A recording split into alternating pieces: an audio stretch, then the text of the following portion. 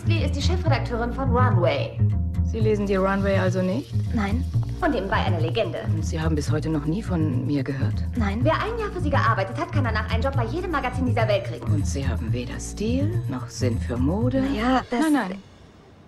Das war keine Frage. Du hast einen Job bei einem Modemagazin? Fand das Bewerbungsgespräch telefonisch statt? Wer ist denn diese triste Person? Machen wir eine Vorher-Nachher-Story, von der ich nichts weiß? Ich muss nur ein Jahr durchhalten und dann kann ich das machen, was ich will. Journalistin werden. Mich wird Miranda nicht kleinkriegen. Ich brauche 10 oder 15 Röcke. Was für Röcke? Bitte langweilen Sie jemand anderen mit Ihren Fragen. Du darfst Miranda niemals eine Frage stellen, okay? Du machst Botengänge. Hallo, wo sind meine Eier? Hallo? Dessous. Boogie Boards.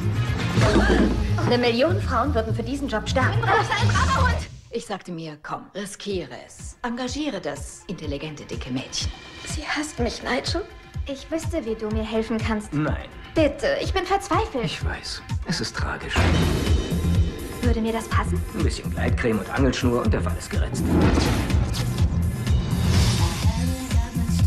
Ich bin immer noch dieselbe, hab nur bessere Klamotten. Ich fand die alten toll. Andy, du siehst so schick aus. Und du siehst dünn aus. Ehrlich? Ich bin nur noch eine Darmgrippe von meinem Traumgewicht entfernt. Happy Birthday. Es tut mir so leid, Nate.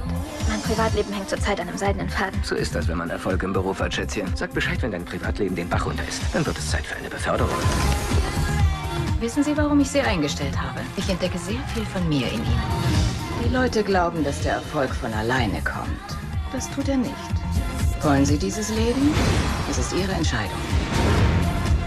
Ich muss heute noch nach Hause. Wir wollen wegen des Wetters alle nicht starten. Also bitte, es, äh, es nieselt doch nur.